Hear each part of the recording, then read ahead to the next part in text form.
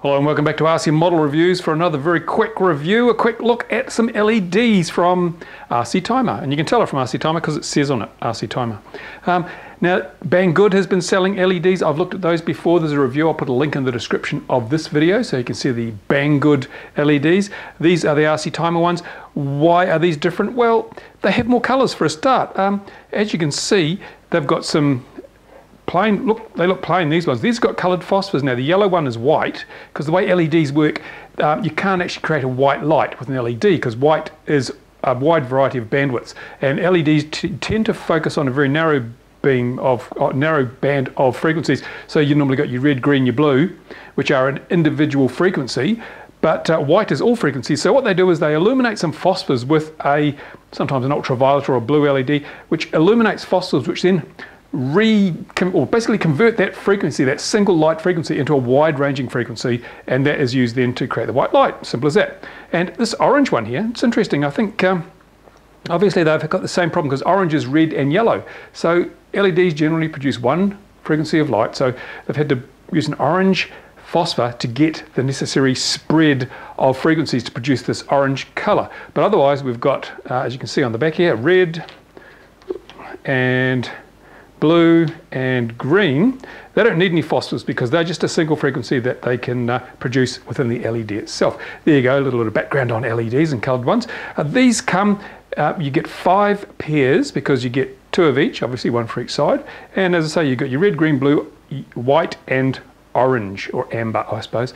Um, you also get a bunch of this wire, so you can wire them up. Now, they don't come pre-soldered. I think um, Neither do the Banggood ones, but you've got this nice thin wire here. You can solder on these little solder tabs down there. I'll have a close look at those in a moment. And so we've got three LEDs, two resistors, and a circuit board. That's basically it. So here's a close-up view of one of these LEDs. You can see we've got the three actual LEDs here.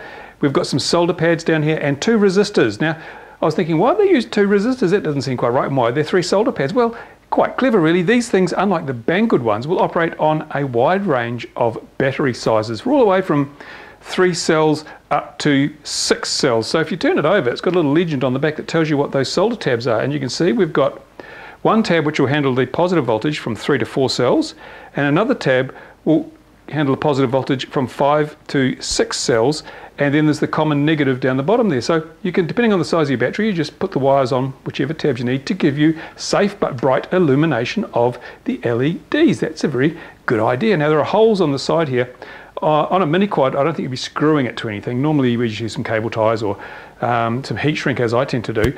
But uh, if you wanted to bolt it, the holes are there. And as I say, this is the wire. It's very fine wire, but it doesn't matter because we're only using a very small amount of current to drive these. These are not ultra high power LEDs, so we're talking probably tens or 100 or so milliamps, I would think maximum. But we'll measure it. Let's throw it on the power supply and just see how much power these things really suck. Rightio, here we are. I've got the Banggood LEDs up here. I've got the RC timer LEDs down here. I've noticed I've looked at the resistors on these and the RC timer LEDs use a slightly higher value of resistor, so I wouldn't expect their LEDs to be as bright as the uh, Banggood ones. But on the other hand, if you run, this is on four, three cells, if you're running four cells, I think that the LEDs are probably a little bit overdriven on the Banggood ones, so they may not last as long on that as they will on the RC timer because of the lower current that flows through the RC timer one. But what I'm going to do is I'm going to set the exposure of the camera because otherwise it'll just all blow out. And we'll just compare the brightness. These are blue LEDs because I happen to have the uh, Banggood blue ones laying around. We'll just compare the brightness. Okay, so here we are. The picture's all dark because I've closed the iris. I've, I've reduced the exposure on the camera. And I'm going to turn them on now and we should get an idea. There we go. Well, there's not really much to choose from, is there? I mean, they look pretty similar. If looking without the thing, I think probably the Banggood ones are just marginally, marginally brighter as I expected, but nothing really to worry about. I'm going to wind them up now to 14.4 um, volts, which is the equivalent of a four cell pack that at nominal voltage. And yeah, now they look to be Oh no, the Banggoods are still slightly brighter, so they're not being overdriven, because with an LED, if you over put too much current through, they actually get dimmer. Well, you reach a point where they have maximum brightness, and then they start to get dimmer as their efficiency drops off. So, yeah, you know, I'd say hmm, six of one, half a dozen of another, really.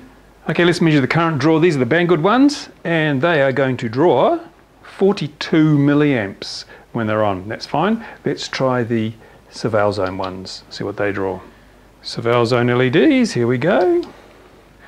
And as I suspected, 35, 36 milliamps. That's because the resistor in series with them is a larger value. It limits the amount of current that flows. So there you go.